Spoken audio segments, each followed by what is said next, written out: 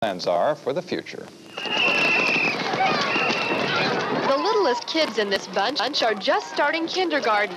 They're getting their first taste of school now. They'll grow up to be the high school graduating class of the year 2000. Hands are at our sides, right? There's lots to learn before the turn of the century, and these youngsters are starting out with the basics.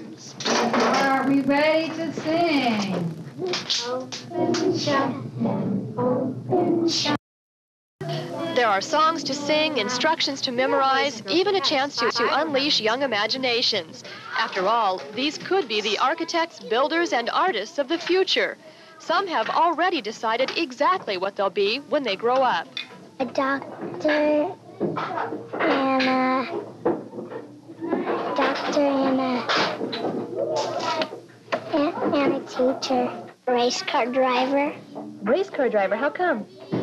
I just like cars.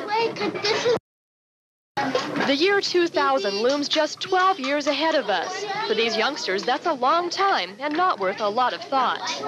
They're pretty much normal little kindergartners. They're all excited about coming to school and missing their mommies occasionally and, and learning how to, to be part of our class. For now, there are more important things to attend to than the future. After all, the next play break can seem like an eternity away when you're just five years old. What do you like about kindergarten so far? Um, recess. Far? How come? Because I like playing. Susan Howard, KREM 2 News. Recess is his favorite. That's